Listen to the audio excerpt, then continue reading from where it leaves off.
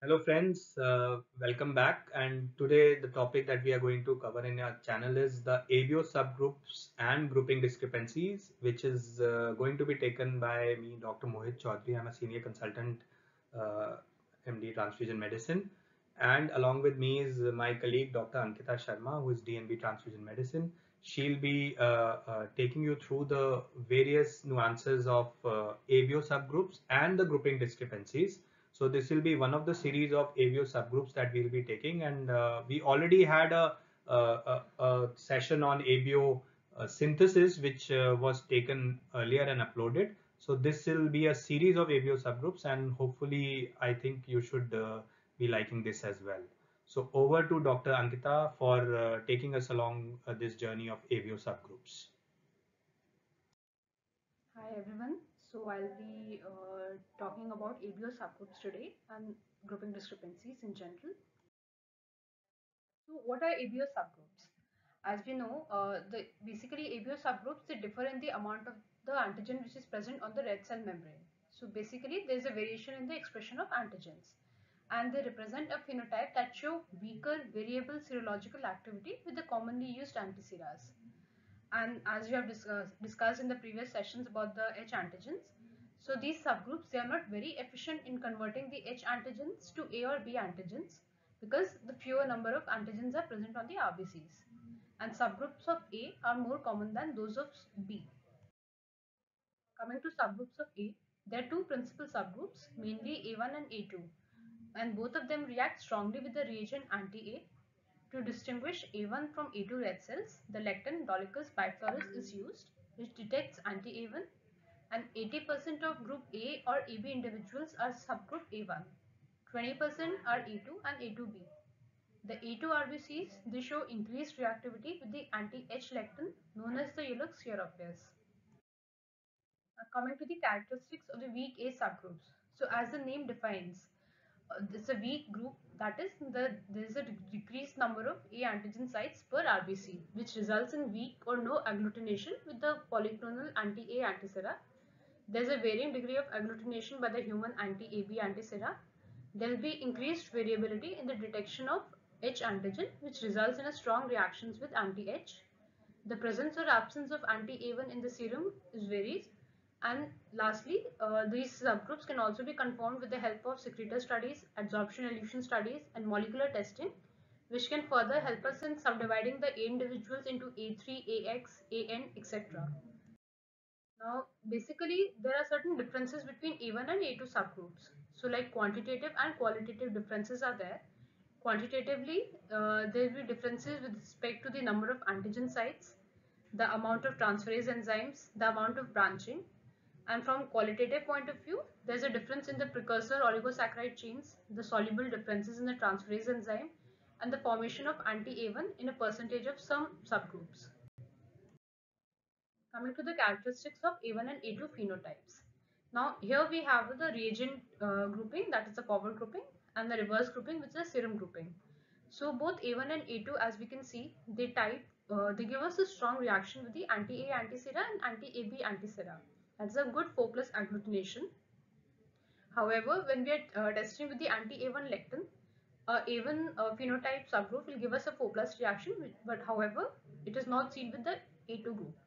Similarly, when we discuss about the antibodies in the serum, common antibody for both is anti-B, whereas the unexpected antibody, there are none in case of A1 subgroup and in case of A2 subgroup, about 1 to 8% of the cases will show a anti-A1 antibody activity.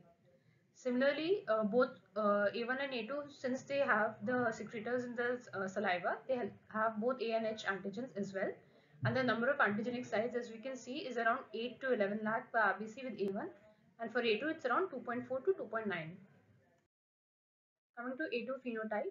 So A2 and A2B individuals, they may produce an anti-A1. And this may cause a discrepancy when a cross match is done. So mostly it is detected at the time of cross matching. So other A subgroups, there are uh, various other subgroups such as A intermediate, this A3, AX, AM, AL, etc. The A3 red cells causes a mixed field agglutination when a polyclonal anti-A or anti-AB antisera is used. And what do we mean by a mixed field agglutination? As you can see in the diagram here, basically there are uh, small agglutinates which appear with a background of unagglutinated RBCs. And these may also contain anti-A1. So characteristics of the weak ABO phenotypes. Now, uh, like uh, this is again, as we discussed, a reagent is of this of forward grouping. We have a reverse grouping. So mostly as you can see, uh, all the subgroups will show a zero to mixed field reaction with anti-A, anti-sera and anti-AB. Some, some of them may not even show any reaction. However, with anti-H, they all show a good 3 plus or a 4 plus agglutination. Similarly, the antibodies uh, found in the serum and with anti-B uh, is present in all of the subgroups whereas a few of them uh, will show uh, anti-A1 sometimes and anti-A is hardly present in any except for a couple of groups where also there is a very weak expression.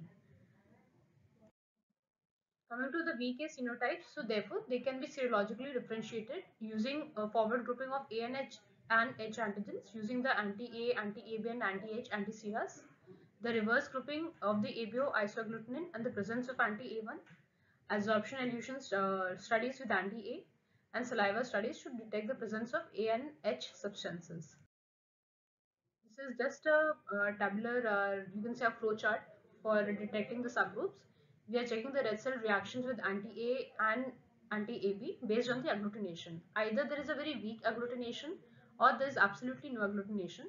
With weak agglutination based on the strength, whether it's a mixed field or about 10% reaction or less than that, the subgroups have been divided. Similarly, where there is no agglutination, you have to proceed with the adsorption elution study with the anti-A, anti-sera.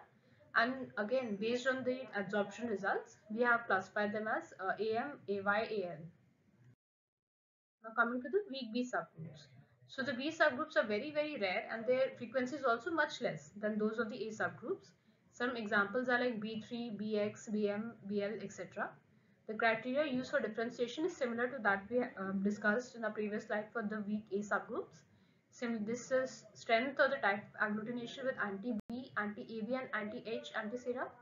The presence or absence of the ABO isoagglutinin in the serum. Absorption elution studies with anti-B. Uh, the saliva studies for detecting the presence of B substance. And lastly, molecular testing. Now coming to the characteristics of the B phenotypes. Now a proper uh, group B as you can see in the, in the forward grouping, there's a good 4 plus reaction with both anti-B and anti-AB anti-sera and a 2 plus with anti-H. And uh, but the other subgroups, they'll again uh, show a very uh, mixed field or 0 to mixed field reaction with anti-B and anti-AB anti-seras. However, with anti-H, it's a good 3 plus reaction. Similarly, the antibodies found in the serum, the common antibody is anti-A for all, including the subgroups whereas unexpected antibodies are uh, very weak uh, anti-B may be seen in uh, BX and BL type.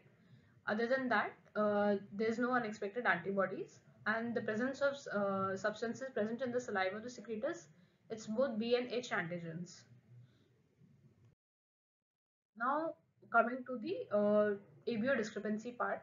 Before we proceed, this one couple of rules which we must keep in mind at the time of looking for any discrepancy. First and foremost, we should always and always focus on the weaker reactions. Why? Irrespective of the grouping, whether it's forward or reverse. Because weaker reactions are the most commonly one uh, ones which are associated with any kind of a problem. So you should always remember weak comes first. And secondly, antibody discrepancy is much much common or more much much more common than the antigen discrepancy. So these are the two thumb rules. So always remember weak comes first and antibody discrepancies are more common. Now coming to the discrepancies. So uh, this is basically anomalous results in blood group testing seen whether uh, in uh, forward and reverse grouping when they fail to tally with each other. This can be either due to a technical discrepancy or a clinical discrepancy. Now the technical discrepancy is basic clerical errors, uh, the most common cause it could be either there's an incorrect identification of the blood specimen, the W, the wrong blood in the wrong tube. There could be mixing of some uh, blood samples. Sometimes the antiseras are used, they are contaminated, they are expired, or you're not following the manufacturer's instructions properly. There could be some non-calibrated centrifuges, cell suspension is heavy or light, then coming to clinical discrepancy, here the main problem lies with the patient. So it's important we have to uh, see the complete history of the patient, their age, diagnosis, transfusion history, drug history, pregnancy uh, history, all of them must be taken into account. So important is when finding the problem, we have to check the forward typing where we test for the antigen, the reverse type test for the antibody. So we have to see what does the patient type in both forward grouping and reverse grouping. And the uh, reaction, is it weaker than the usual? Is it a uh, missing reaction or a weak reaction? Then group 1 discrepancy. Uh, this type of discrepancy is most common as compared to the other groups. It's mainly uh, seen in reverse grouping due to the weak or missing antibodies. Some of the common examples are in uh, extremes of age, like newborns where the antibody production is not detectable up, up to about 3 to 6 months of age, or elderly patients where the production has been depressed, or patients of leukemia, lymphoma, those on immunosuppressive drugs. Uh, basically, they are demonstrating a condition of hypogammaglobulinemia.